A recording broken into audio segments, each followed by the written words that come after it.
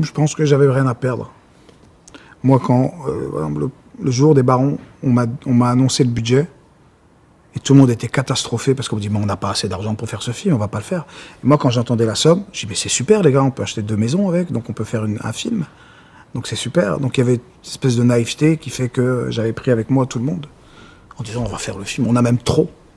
Les gars, en plus, vous allez venir, vous avez des tartines gratuites, vous avez du café gratuit le matin. Moi, je viens de l'usine, j'ai ramené ma propre. Je payais 2 euros mon café, euh, j'ai ramené mes propres tartines, donc c'est cool. Vous imaginez, on va vous ramener les tartines. Il y a des chauffeurs qui vont vous déposer aussi. Donc il y avait cette, cette force qui faisait que j'avais réussi à.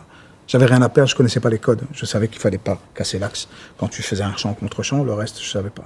J'ai appris sur, le, sur le tard. J'avais pas besoin de diplôme, tu vois. C'est difficile quand tu dois avoir un examen. Là, j'avais pas d'examen. J'apprenais parce que j'avais envie d'apprendre. Il y avait personne qui me disait attention, demain je vais te poser une question. C'était moi qui posais les questions d'un coup.